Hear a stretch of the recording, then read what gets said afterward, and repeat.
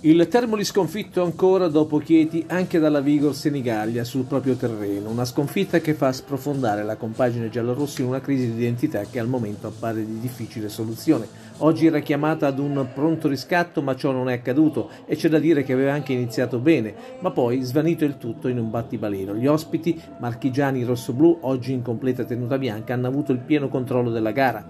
Veniamo alla cronaca, agli ordini del signor Ambrosino di Nola, comincia subito il Termoli che al sesto da una prima bella azione d'attacco arrivano in aria ospite puntoriere serve la corrente Traini, dribbling di quest'ultimo al tiro e infila il portiere ospite con un tiro all'angolo alla destra del numero 1 marchigiano. Nemmeno il tempo di gioire è al decimo sugli sviluppi di un calcio d'angolo, la Vigor pareggia con Rotondo che comodamente raccoglie di testa con la difesa del Termoli distratta e infila Pizzella, oggi sostituto di Palombo.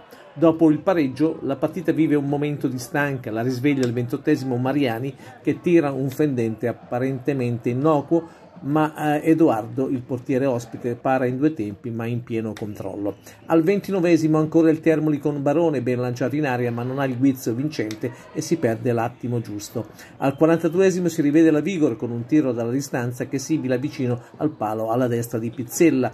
Dopo due minuti di recupero si va al riposo. Ripresa che e per 16 minuti non produce alcunché, ci pensa con Ricci proprio al sedicesimo a riaccenderla con un grande forte tiro che il portiere della Vigor devia alla grande. Nella stessa azione riprende Galdean da poco entrato, altro tiro interessante ma ancora Edoardo para. Arriva il ventunesimo e la Vigor trova il gol del vantaggio. Presa d'infilata la difesa giallorossa in pressing con Conè che si invola, vede la corrente Ferrara, gli passa la palla e il giocatore si fa 30 metri da solo appena in aria con Pizzella disperatamente in uscita lo infila per il 2-1. Da quel momento per il Termoli è notte fonda. Ha avuto una minima reazione ma la Vigor non ha corso più grossi pericoli, solo subito qualche tentativo finito fuori mestamente.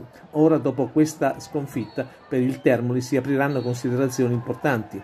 Si è, oggi si è perso davvero una grossa occasione per rimettersi in carreggiata, visto anche alcuni interessanti risultati della stessa giornata.